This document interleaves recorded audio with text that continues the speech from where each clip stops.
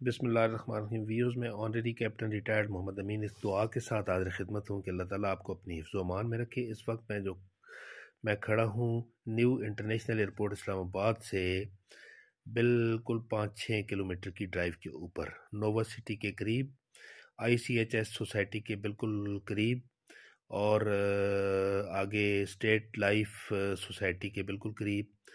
और ये जो रोड आपको मैंने दिखाई है, ये कार्गो रोड बन रही है।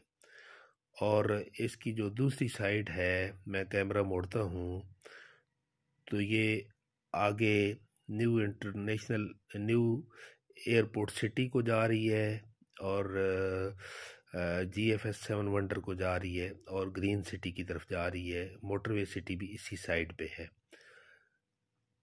इस रोड के बनाने की जो डिटेल है इस बोर्ड के ऊपर लिखी हुई है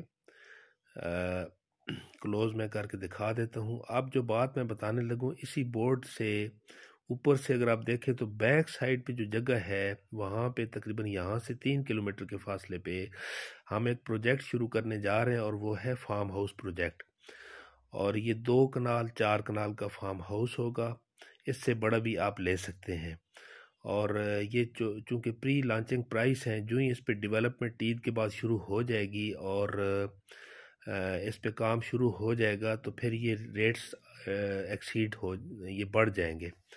फ़िलहाल ये इसकी प्री लॉन्चिंग प्राइस के टाइम पे हमने इनके रेट अनाउंस किए हैं, वो पचास लाख की दो कनाल नबे लाख का चार कनाल का फार्म हाउस तो इससे बड़ा भी आप ले सकते हैं और ये वक्त है बुकिंग कराने का, ये सिर्फ़ रोज़ों के महीनों में, महीने में, जो बकिया दिन रहते हैं, पंद्रह सोलह, इन दिनों के अंदर ये रेट्स हैं और ये नादर मौका है कि आप अपना फार्म हाउस बुक करवा लें।